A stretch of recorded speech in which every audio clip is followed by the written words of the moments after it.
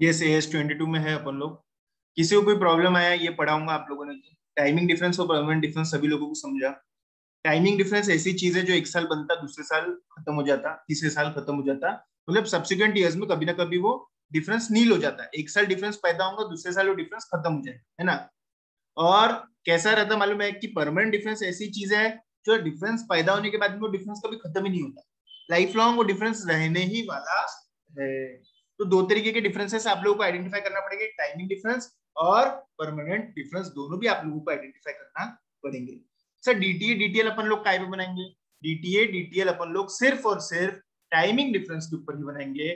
Permanent difference पे क्या बनता फिर? शेयर परमानेंट डिफरेंस पे क्या बनता बताओ तो? डीटीए डीटीए डीटीएल बनता क्या? नहीं। क्यों नहीं बनता शेयरी क्यों नहीं बनता क्यों नहीं बनता शेयरी क्यों नहीं बनता उस पर सर वो अगले साल रिवर्स ही नहीं होता। बराबर। वो रिवर्स नहीं वो होता। अगले साल रिवर्स नहीं होता।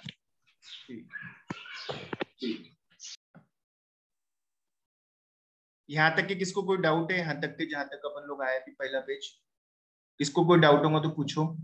कोई तो डाउट होगा। तीन चार चीज़ें अपन ने देखी अभी तक।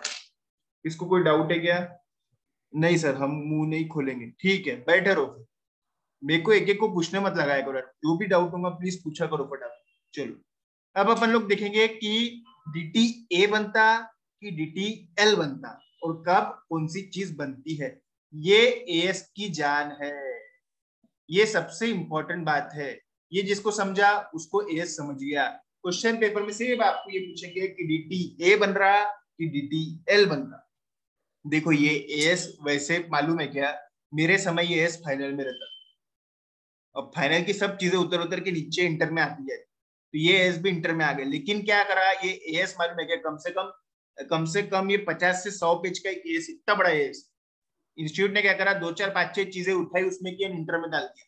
ये पूरा एस डाला भी नहीं उन्होंने। थोड़ा सा ऊपर का उठाया आइडेंटिफिकेशन ऑफ़ डेफर्ड टैक्सेस थोड़ा सा डीटीए डीटीएल के बारे में उठा लिया डाल दिया।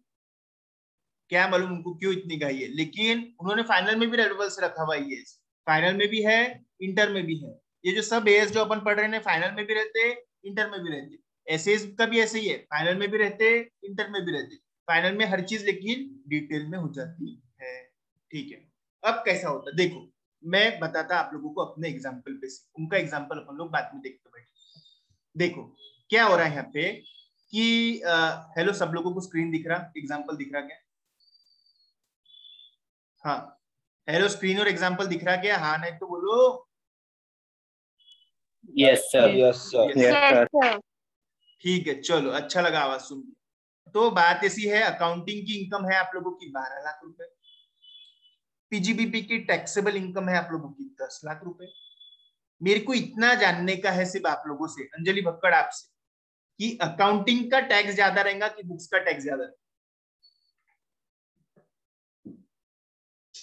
सिर्फ़ ये दो आंकड़ों को देखो बाकी कुछ मत देखो ये अकाउंटिंग का प्रॉफिट है, बारह लाख रुपए टैक्स का प्रॉफिट है, दस लाख रुपए। मेरे को एक बात बताओ अकाउंटिंग का प्रॉफिट बारह लाख बुक्स का सॉरी अकाउंटिंग का प्रॉफिट बारह लाख टैक्स का प्रॉफिट दस लाख रुपए किसमें टैक्स ज़्यादा आएगा?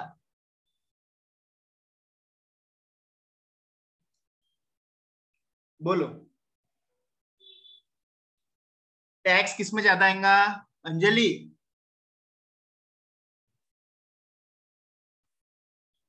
हेलो। सर वो मीटिंग में नहीं है। नहीं है? अच्छा। आ, आ, आ, आ, आ, ठीक है मैं ही बता देता देखो बारह लाख रुपए का अकाउंटिंग इनकम है दस लाख रुपए का पीजीबीपी इनकम सर जहाँ पे प्रॉफिट ज़्यादा वहाँ पे टैक्स ज़्यादा। जहाँ पे प्रॉफिट ज़्यादा वहाँ पे टैक्स ज़्यादा। सिंपल टर्म्स में तीस टक्का टैक्स है। इसका तीस टक्का तीन लाख साठ हज़ार आएगा इसका तीस टक्का तीन ही लाख आएगा तो कहाँ पे टैक्स ज़्यादा आएगा? अकाउंटिंग में टैक्स ज़्यादा आएगा बुक्स में टैक्स कम आएगा सॉरी अकाउंटिंग में टैक्स ज़्यादा आएगा पीजीबीपी में टैक्स कम आएगा। गेटिंग माय पॉइंट अकाउंटिंग में टैक्स क्यों ज़्यादा आएगा? क्योंकि अकाउंटिंग की इनकम ज़्यादा है पीजीबीपी की इनकम कम है तो टैक्स भी कम आएगा। देखो, आप चलान कितने किसके हिसाब से भरेंगे? दस लाख के हिसाब से चलान भरेंगे। बुक्स का प्रॉफिट कितना है? बारह लाख रुपए। पीजीपीपी का प्रॉफिट कितना है? दस लाख रुपए।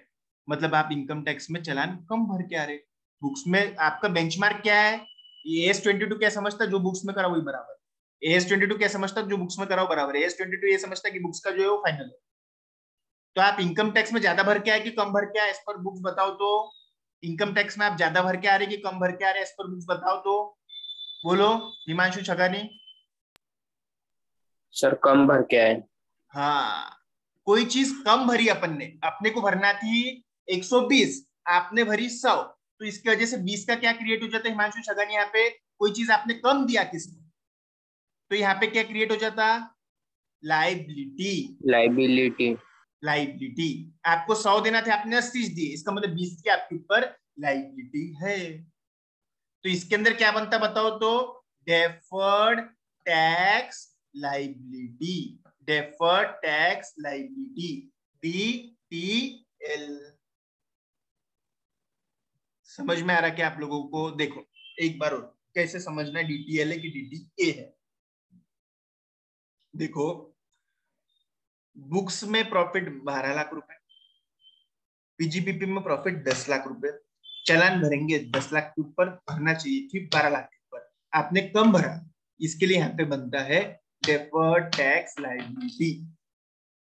Getting my point यहाँ पे क्या बन रहा? डेफर्ड टैक्स लाइबिलिटी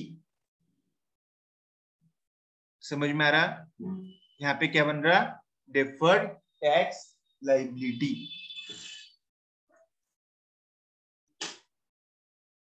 यहाँ पे बन रहा है डेफर्ड टैक्स लाइबिलिटी इतना ही बात ध्यान में रखो कि यहाँ पे क्या बन रहा? Deferred tax liability. Getting my point? समझा कि कैसे आया डेफर्ड टैक्स लाइबिलिटी चलो, अब दूसरा एग्जांपल बताता मैं अब बुक्स में सपोज़ बुक्स में प्रॉफिट है बाकी सब चीज़ें छोड़ दो, सिर्फ़ प्रॉफिट के ऊपर ध्यान दो, कि डेप्रिसिएशन नहीं है सपोज़ अपन क्या ले रहे प्रॉफिट है। बुक्स में प्रॉफिट है आप लोगों का दो लाख। इनकम टैक्स के पीजीबीपी का प्रॉफिट आ रहा है आप लोगों का चार लाख। अब मेरे को बताओ यहाँ पे क्या बनेगा? डेफर्ड टैक्स एसेट बनेगा कि डेफर्ड टैक्स लाइबिलिटी बनेगा? एस ट्वेंटी टू के लिए कंपैरिजन का फिगर क्या रहता है? बुक्स में जो है वही फाइनल है। बुक्स में जो किया है, वही सही किया है। बुक्स का जो टैक्स है, वही करना चाहिए। इनकम टैक्स में कम ज़्यादा हो रहा होगा तो डेफर्ड टैक्स एसेट लाइबिलिटी बनाओ। अब देखो इनकम टैक्स में प्रॉफिट ज़्यादा है तो इनकम टैक्स का टैक्स भी ज़्यादा रहेगा। इनकम टैक्स का टैक्स ज़्यादा रहेगा। बुक्स का टैक्स और प्रॉफिट दोनों कम है। आप चलान किसके ऊपर भरेंगे? चार लाख के ऊपर भरना चाहिए था आपको दो लाख के ऊपर। तो आपने इनकम टैक्स के अंदर बुक्स के हिसाब से ज़्यादा भरा या कम भरा? बोलो। ज़्यादा भरा। यस कोई चीज़ ज़्यादा भर दी अपन ने। अपने को सौ ही भरना थी। अपन ने डेढ़ सौ भर के आया। अपने को दो सौ ही भरना थे। अपन ने चार सौ भर के आया। तो यहाँ पे क्या बनता? Deferred tax asset. समझ में आ रहा? है यहाँ पे बनता है डिफर्ड टैक्स एसेट। ठीक है? तो देखो, इसके ऊपर फाइनल अगर अकाउंटिंग का टैक्स ज़्यादा है अकाउंटिंग का टैक्स ज़्यादा है इनकम टैक्स के हिसाब से मतलब आपने कम भर के आए तो क्या बनेगा यहाँ पे डेफर्ड टैक्स अकाउंटिंग में कम है इनकम टैक्स में ज़्यादा है। मतलब आप ज़्यादा भर के आए। इसको बनता है डी टी ए समझ में आ रहा है कि ये दो ही बातें ध्यान में रखो कि डीटीए कब बनता और डीटीएल कब बनता है। बुक्स में ज़्यादा है tax as compare to PGBP तो डीटीएल बुक्स में कम है tax as compare to PGBP तो डीटीए ठीक है, बाकी का कुछ भी ध्यान में रखना नहीं। गेटिंग माई पॉइंट इसको कोई डाउट है? चलो ठीक है। मैं नोट्स भेज रहा आप लोगों को नोट्स पढ़ो कुछ नहीं समझा तो पूछो। ठीक है? और दूसरी बात आप लोगों का सैटरडे को कौन सा टेस्ट है? सैटरडे को? सैटरडे को कौन सा टेस्ट है? डिक्लेयर नहीं हुआ। हाँ तो सैटरडे को एस टू का टेस्ट ठीक है? सैटरडे को एस टू का test okay have a great day thank you